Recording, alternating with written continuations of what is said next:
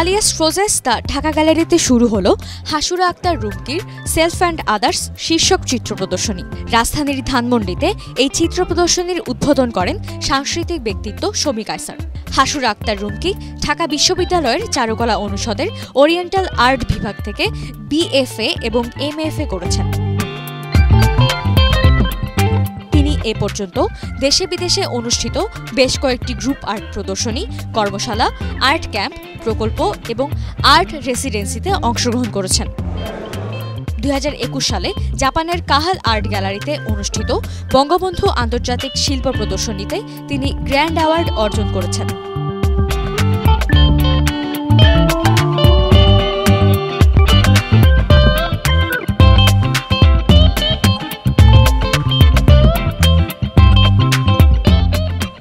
Self and others তার প্রথম চিত্র প্রদর্শনী। চিত্র প্রদর্শনী ঘুরে চিত্রশিল্পী শাহাবুদ্দিন আহমেদ বলেন, তার প্রতিটি পেইন্টিংয়ে রয়েছে মায়া এবং মানুষের মধ্যে সংযোগের আকাঙ্ক্ষা। এ ধরনের চিত্রকর্ম বিশ্বে বাংলার সংস্কৃতিকে তুলে ধরতে সাহায্য করবে বলেও জানান তিনি। এই চিত্র প্রদর্শনীর মূল ইয়াটা তো রিক্সার উপর, রিক্সার যারা আসলে রিক্সাটা বলছে, কিন্তু মানুষের যে, সাধারণ মানুষের যে জীবনযাপন কাটছে তার উপর ওর যে দক্ষতা আছে, এখনও সে জাস্ট ছাত্র হিসাবে পার হয়ে এসছে, আরও অনেক দূর যেতে হবে, তো খুব প্রশংসনীয় কাজ তার। আর সবচেয়ে ইয়াটা হলো ওর রঙের ব্যবহারটা ওর হাতে নিয়ে এসছে। যেমন ধরো, ছেড়ে দেওয়া, এভাবে দর্শক, এখানে প্রচুর দর্শক এসছে এতে আমি খুব আনন্দিত। আলিয়ান্সের সহজে এত দর্শক হয় না কিন্তু। আর ওর যে রিক্সাটা যে ব্যবহার করছে, এই যে মানসিক চিন্তাটা, এটা খুব প্রশংসনীয়। বিশেষ করে বাংলাদেশের মহিলারা এই নিয়ে কোনো দিন চিন্তাও করে না। ও যে চিন্তা করছে, এটা মারাত্মক কিন্তু। এখন আরম্ভ হবে অনেকেই চিন্তা করতে। আসলে হয় কি জানো? মানুষের দৈনন্দিনের ব্যবহারটা না সহজে চোখের নজরে আসে না। আসে কিন্তু দূরের দূরের জিনিসগুলি। হ্যাঁ কাছে জিনিসকে তুমি নগণ্যভাবে দেখে। যার ফলে এ, আগাতে পারে না। কারণ কাছেরটাই আসল কিন্তু। আমাদের তো কাছের জিনিস সবচেয়ে রিক্সাটা এলো ইভেন উপরের লেভেল থেকে আরম্ভ করে নিচু লেভেলে ওরা ব্যবহার করছে তারপর ওদের সংসার চলছে, রিক্সা না চালালে ওদের সংসার ধ্বংস হয়ে যাচ্ছে। সে এইগুলি কিন্তু একটা কঠিন কাজ। হ্যাঁ ওইটা নিয়ে যে চিন্তা করে ছবি আঁকছে, ব্যবহার করছে এবং মার্জিতভাবে, ওই জীবন ধরো এই যে একটা রিক্সার প্রতিদিন দেখি, কিন্তু এটা যে পেন্টিং ধরতে পারে এত সুন্দর, এই প্রশংস- খুবই সুন্দর কাজ হয়েছে। আশা রাখে ভবিষ্যতে বাংলাদেশে। আর আলিয়ন্সে ওরা, এই যে দেখলে দূরের থেকে ওরা, যেহেতু ফরাসি, ওরা দূর থেকে এটাকে নজর দিয়েছে। এটা একটু ভিন্ন। হ্যাঁ?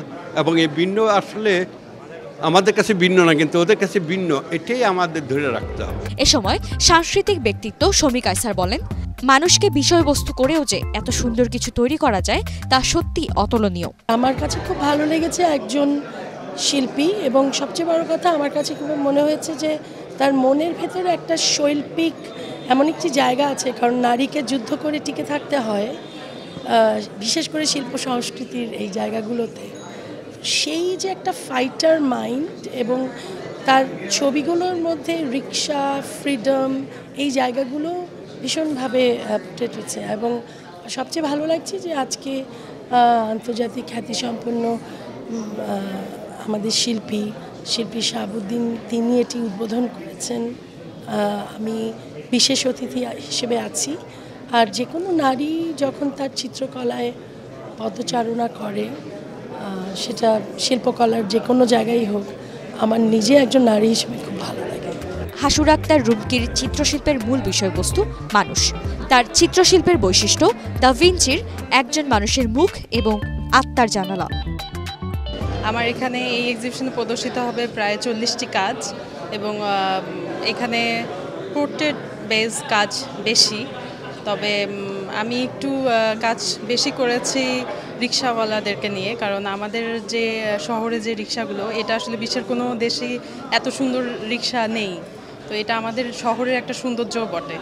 আর এবং এই রিক্সাওয়ালারা যে সারাদিন পরিশ্রম করে রেস্ট নেয়, তো তাদের এই এই সময়টা আমার খুব মজা লেগেছে কাজ করতে। তো এটা নিয়ে আমি কিছু কাজ করেছি। আর এছাড়াও বঙ্গবন্ধু এবং রবীন্দ্রনাথ নিয়ে কিছু পোর্ট্রেট করা, আমার কিছু সেলফ পোর্ট্রেট করা, এটা সেলফ ডুয়ালিটি বা সেলফ অ্যান্ড আদার যেটা টাইটেলে বলা আছে সোশ্যোলজির একটা থিওরি নিয়ে। তো এই আর কি কিছু কাজ যদি আশা করছি দর্শকরা পছন্দ করবেন। চিত্র প্রদর্শনীটি পহেলা ফেব্রুয়ারি পর্যন্ত প্রতিদিন বিকেল তিনটা থেকে রাত নয়টা অবধি দর্শনার্থীদের জন্য উন্মুক্ত থাকবে।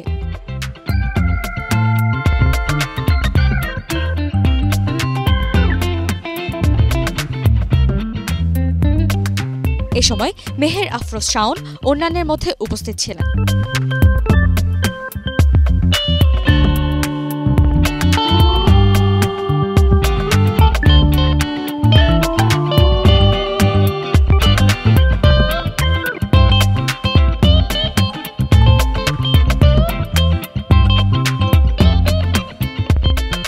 ঐশী গোস্বামী প্রমা, এটিএন বাংলা, ঢাকা।